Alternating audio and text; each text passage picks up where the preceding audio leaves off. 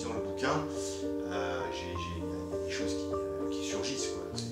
C'est- même, un- même une mine d'images. Euh, Et après, ce qui est intéressant aussi, c'est une façon de rentrer dans une histoire, c'est d'être le témoin. C'est-à-dire ne pas la, ra- la raconter du point de vue du héros, mais de la raconter de, quelqu'un qui, suit le héros. Donc, donc moi, c'était juste un subterfuge au départ qui me permettait le travail, de toute façon, du- du- euh, d'une image, il part du texte, tout en sachant aussi que le texte, il part d'une image.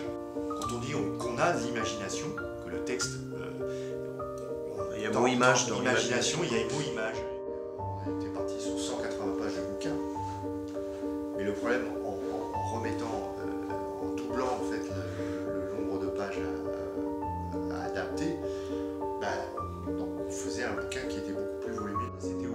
Faire, de faire une BD. Et comme la BD est quand même même si elle s'est institutionnalisée, la BD reste encore un truc euh, très, très populaire. Donc en fait, au final, on se retrouve avec 280 pages.